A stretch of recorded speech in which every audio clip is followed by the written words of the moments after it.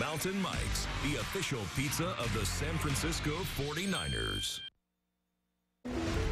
When it comes to preventing large, destructive wildfires here in California, time is of the essence. The sooner firefighters are called out, the more likely it is they're able to keep a fire from growing in size. And that's why one San Francisco-based tech company called Chooch AI is hoping to use artificial intelligence and satellite imagery to give crews early notice about wildfires. Joining us now to talk more about this AI tool is Emrah Gultekin, the CEO of Chooch Intelligence. Uh, right now, as we appreciate you coming in, right now there's this delay that we talk about between the time a fire may start out in the forest somewhere and, and the time that it's reported to authorities. And you're trying to, to uh, lessen that gap in there? How, how is artificial intelligence going to help? Exactly. That's that's the main problem today is the uh, the delay and the gap between the time uh, a, a, wildfire starts and by the time it's uh, people are responding to it. So basically, what we're doing is uh, we're looking at satellite imagery in full motion uh, in real time, and every 10 minutes we're inspecting every acre of uh, of forestry in, in, in, California, which is about 30 million acres. Uh, so humanly impossible to do because you would need thousands of people 24-7 mm-hmm. looking at every acre. Uh, so what we're doing is we're training the AI to be an expert in that field and having that deployed. And, and the AI technology is looking for heat, for smoke, both? Exactly, heat, smoke. So th there are different there are different sensors. And then what happens if the technology picks up on something?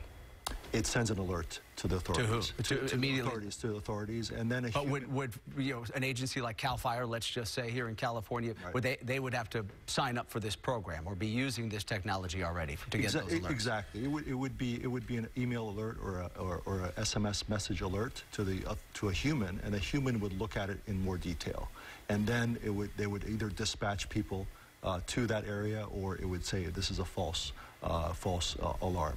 Uh, but it, what it does is it, it creates uh, it, it, it, creates a call to action for a human to look at in more detail. How much time do you think you can you can save firefighters? I mean, how much quicker do you think you can get them to the scene of a wildfire using technology like this? almost immediately. Uh, so if you can, if we're able to look at uh, forestry every 10 minutes, mm -hmm.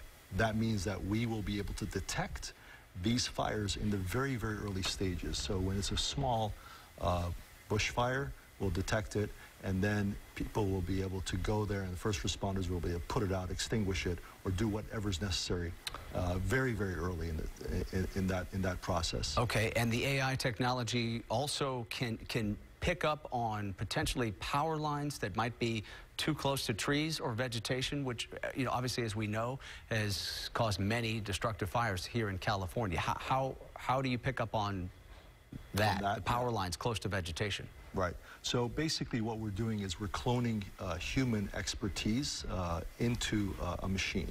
So it doesn't matter what it is. It's, if it's a wildfire, uh, we would we would train the AI to be uh, an expert in that field. If it's power lines or it's vegetation, we would train the AI to be an expert in that field. So whatever uh, a human can do, uh, the AI can do even better because you're able to scale it.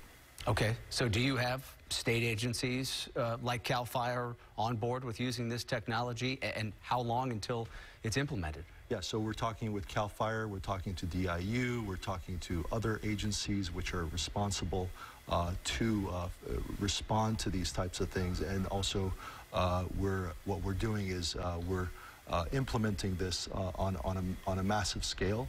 So we will be able to put this into production next fire season, hopefully, uh, with the with the uh, support of all these different agencies. Okay, so this time yeah. next fall, potentially, right. we'll have artificial intelligence uh, at work as well. One of the one of the many tools out there to try to right. detect these wildfires early on, which, as we know, is so important. Yeah. All right, we appreciate you coming in to explain all of this. Thank, Thank you so much, Emrah uh, Emrah Gultekin, CEO of Chooch Technologies. You, really appreciate your time. Thank you. Thank you very much. All right, thanks, Heather. Thank you, gentlemen.